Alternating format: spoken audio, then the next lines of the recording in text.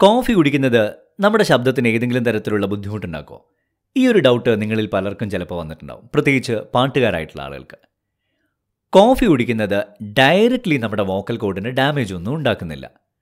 പക്ഷേ കോഫി ഒരു പെർഫോമൻസിന്റെ സമയത്തൊക്കെയാണ് നിങ്ങൾ ഇത്തരം കോഫി കുടിക്കുന്നതെങ്കിൽ നമ്മുടെ ബോഡിയിൽ നോർമലി കോഫി അല്ലെങ്കിൽ ആൽക്കഹോളൊക്കെ കഴിക്കുന്ന സമയത്ത് ബോഡി ഡീഹൈഡ്രേറ്റഡ് ആവും.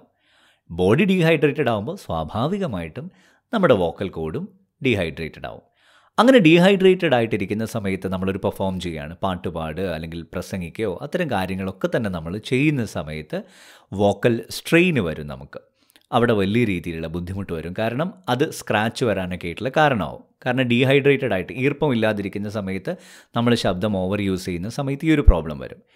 ഇവിടെ നമുക്ക് ഏറ്റവും കൂടുതൽ ചെയ്യാൻ പറ്റുന്നൊരു കാര്യം ഒരു പെർഫോമൻസ് വരുന്ന സമയത്ത് പരമാവധി നമ്മൾ ആൽക്കഹോളോ അല്ലെങ്കിൽ കോഫി പോലെയുള്ള കാര്യങ്ങൾ ഒരു ട്വന്റി ഫോർ അവേഴ്സിൽ നമ്മൾ യൂസ് ചെയ്യാതിരിക്കുന്നതാണ് നല്ലത്. അല്ലാതെ നിങ്ങൾ യൂസ് ചെയ്യുന്നത് കൊണ്ട് ഐ മീൻ കോഫി ഒന്നും കുടിക്കുന്നത് കൊണ്ട് അത്രത്തോളം ഡയറക്റ്റ്ലി ആയിട്ടുള്ള പ്രോബ്ലം വോക്കൽ കോഡിന് വരുന്നില്ല.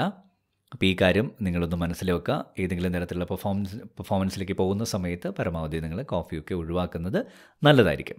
ഇതുപോലെ വോക്കൽ ഹെൽത്തുമായിട്ട് ബന്ധപ്പെട്ടിട്ടുള്ള മറ്റൊരു വീഡിയോ ആയിട്ട് ഞാൻ വീണ്ടും വരാം.